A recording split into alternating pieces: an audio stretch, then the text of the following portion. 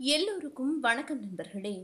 இன்னைக்கு நம்ம வீடியோவில் சிக்கல் நவநீதேஸ்வரர் கோயிலை பற்றி தான் பார்க்க போகிறோம் வீடியோக்குள்ளே போகிறதுக்கு முன்னாடி நம்ம சேனலை நீங்கள் இன்னும் சப்ஸ்கிரைப் பண்ணலைன்னா கீழே ரெட் கலரில் இருக்கிற சப்ஸ்கிரைப் பட்டனை ப்ரெஸ் பண்ணி அது பக்கத்தில் இருக்கிற பெல் சிம்பரையும் ப்ரெஸ் பண்ணிட்டீங்கன்னா நம்ம சேனலில் இருந்து இனிமே வரப்போகிற எல்லா வீடியோஸையும் நீங்கள் தவறாமல் பார்க்கலாம். வாங்க வீடியோக்குள்ளே போகலாம் சிக்கல் நவநீதேஸ்வரர் கோயில் தேவார பாடல் பெற்ற தலங்களில் காவிரி தென்கரை தலங்களில் எண்பத்தி மூணாவது சிவத்தலமாகும். சம்பந்தர் பாடல் பெற்ற இந்த தலம் நாகப்பட்டினம் மாவட்டத்தில் அமைஞ்சிருக்குது. இந்த கோயில் நாகப்பட்டினத்துல இருந்து அஞ்சு கிலோமீட்டர் தூரத்துல அமைஞ்சிருக்குது. இந்த தலத்துல வசிட்டர் காமதேனுவோட வெண்ணையினால சிவலிங்கம் அமைச்சு வழிபட்டு பூசணியோட முடிவுல அதை எடுக்க முயற்சி பண்ணப்போ அது சிக்கிக்கிச்சு அப்படிங்கிற தொன் நம்பிக்கை ஒன்று இருக்குது. இங்கே இருக்கிற சிக்கல் சிங்காரவேலர் சன்னதி தனி சிறப்பு கொண்டது. இந்த கோயிலில் சிங்காரவேலர் வள்ளி தெய்வானையோட கூட்டின சன்னதி இருக்குது. திருச்செந்தூரில் சூரசம்ஹாரம் நடந்ததா சொல்லுவாங்க. இருப்பினும் அதுக்கான ஆரம்பம் இந்த தலமே ஆகும். இங்கே சஷ்டி திருவிழாவப்போ வேல் வாங்குற நிகழ்வு நடக்கும். அப்போ தாய்கிட்ட வேலை வாங்கி முருகன் தன்னோட சன்னதியில் அமர்வாரு. அந்த வேலோட சிறப்பின் காரணமாக சிங்கார வேலருக்கு வியர்வை வெள்ளமாக பெறுகிறதா சொல்லுவாங்க. இந்த தல விநாயகர் சுந்தர கணபதி அப்படிங்கிற பெயர்ல அருள் பாலிக்கிறாரு. எட்டுக்குடி எண்கண் சிக்கன் ஆகிய மூன்று தலங்கள்ல விளங்குற முருகப்பெருமான் ஒரே அமைப்புடைய மூர்த்திகளாக இருக்கிறதுனால இவைகள் ஒரே சிற்பியால வடிக்கப்பட்டது அப்படின்னு சொல்லுவாங்க. கோயிலோட வடமேற்கு மூலையில ஆஞ்சநேயருக்கு தனி சன்னதி இருக்குது. கோலமையில் வாகனன் புகழ் பாடுற கோயில்ல திருமால் கோவ வாமனர் அப்படிங்கிற திருநாமத்தோட எழில் கோலம் விளங்க அருட்கோலம் பூண்டு தனி சன்னதி கொண்டிருக்காரு. அவருக்கு எதிரில் அனுமனும் காட்சி அளிக்கிறாரு. விண்ணுலகத்தில் இருக்கிற காமதேனு பசு பஞ்ச காலத்தில் மாமிசம் தின்னுட்டதாகவும் இது தெரிஞ்சுக்கிட்ட சிவன் பசுவை புலியா மாறும்படி சபைச்சதாகவும் சொல்லப்படுது. வருந்திய புலி இறைவன் கிட்ட மன்னிப்பு கேட்டிருக்குது. மனமிறங்கிய சிவன் பூலோகத்துல மல்லிகாரண்யம் அப்படிங்கிற தலத்துல நீராடி அங்க இருக்கிற இறைவனை பூஜிச்சா சாபம் விலகும் அப்படின்னு சொன்னாரு. சிவனோட அறிவுரைப்படி காமதேனு இந்த தலத்துக்கு வந்து குளம் அமைச்சு நீராடினப்போ அதோட மடியில இருந்த பால் பெருகி குளம் முழுசும் பால் பொங்கியிருக்குது. இதனால இந்த குளம் பார்க்குளம் ஆச்சு. தேங்கிய பார்க்குளத்துல இருந்து வெண்ணெய் திரண்டிருக்குது. சிவனோட ஆணைப்படி வசிட்டர் இந்த தலத்துக்கு வந்து இந்த வெண்ணெய் மூலமா லிங்கம் அமைச்சு வழிபாடு செஞ்சாரு. இதனால இந்த தல இறைவன் வெண்ணெய்நாதனானாரு. வழிபாடு முடிஞ்சதும் இந்த லிங்கத்தை பெயர்த்து எடுக்கிறப்போ அது வராமல் சிக்கலை ஏற்படுத்தினதுனால இந்த தலம் சிக்கல் அப்படின்னு அழைக்கப்பட்டுச்சு.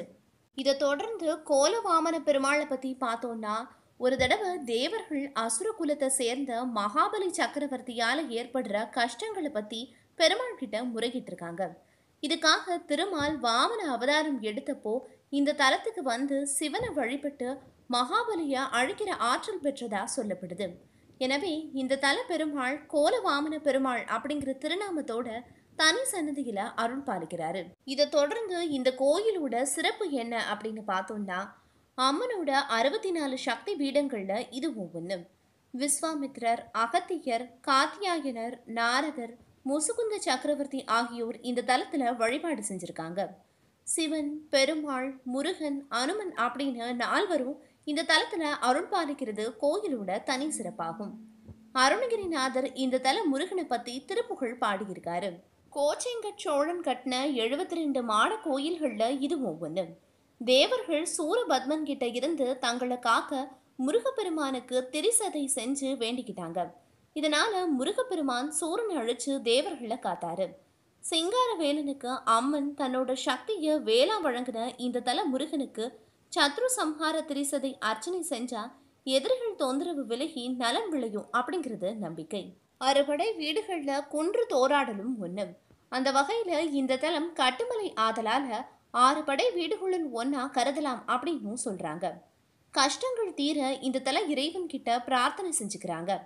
பிரார்த்தனை நிறைவேறினதும் இந்த தல இறைவன் வெண்ணெய்நாதருக்கு அமாவாசை மற்றும் பௌர்ணமி நாட்களில் உச்சிக்கால பூஜையப்போ வெண்ண சாத்தி அர்ச்சனை செய்கிறாங்க இந்த தலத்தில் இறைவன் சுயம்பு மூர்த்தியா அருள் பாலிக்கிறாரு.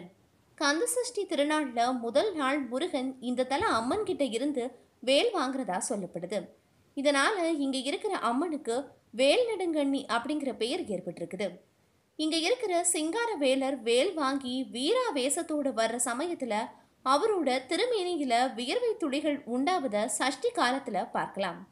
சிவனோட தேவார பாடல் பெற்ற இருநூத்தி எழுபத்தி நாலு சிவாலயங்கள்ல இது நூத்தி நாற்பத்தி ஆறாவது தேவார தலமாகும் புராண காலத்துல மல்லிகை வனம் அப்படின்னு அழைக்கப்பட்ட இந்த தலத்துல வசிஷ்ட முனிவர் ஆசிரமம் அமைச்சுக்கிட்டு இந்த தலத்து சிவபெருமான வழிபட்டு வந்தாரு.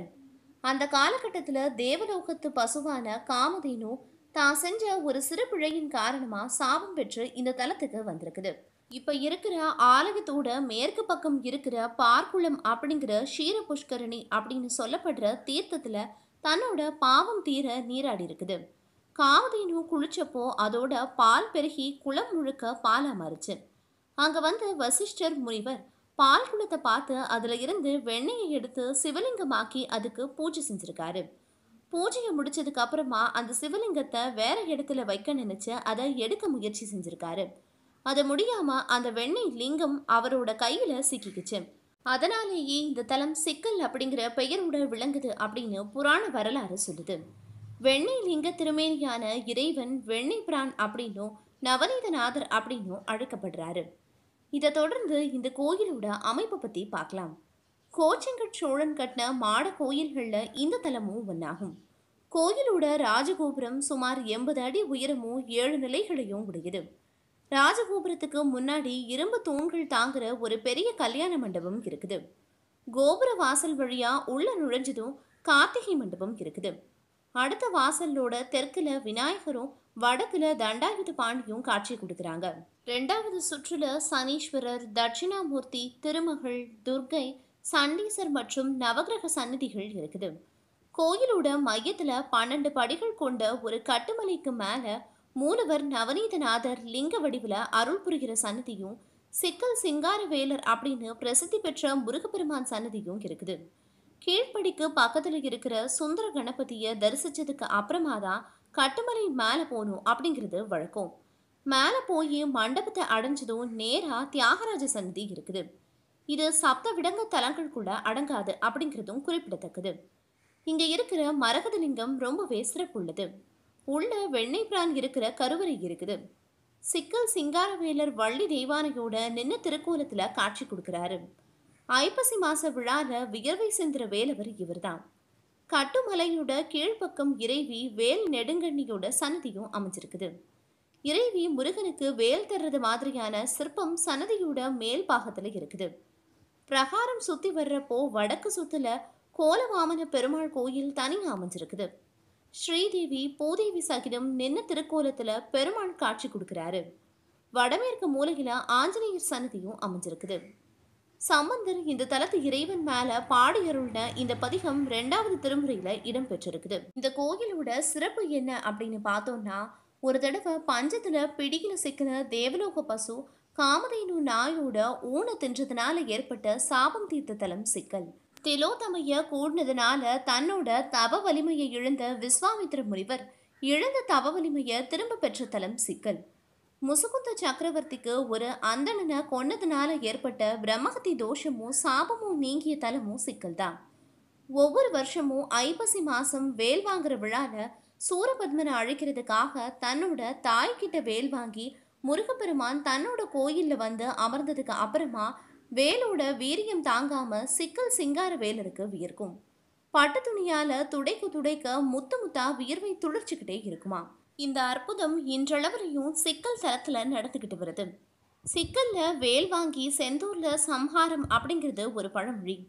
இந்த தளத்துல கோயில் கொண்டிருக்கிற அம்பாள் வேல் நெடுங்கண்ணி கிட்ட வேல் வாங்கி திருச்செந்தூர்ல சூரபத்மன முருகப்பெருமான் சம்ஹாரம் செஞ்சாரு. இந்த தளத்துல கந்த சஷ்டி விழா ரொம்பவே விமர்சையா கொண்டாடப்பட்டு வருது. சிக்கல் சிங்காரவேலர் சன்னதி ரொம்பவே பழமை வாய்ந்த இந்து கோயிலாகும்.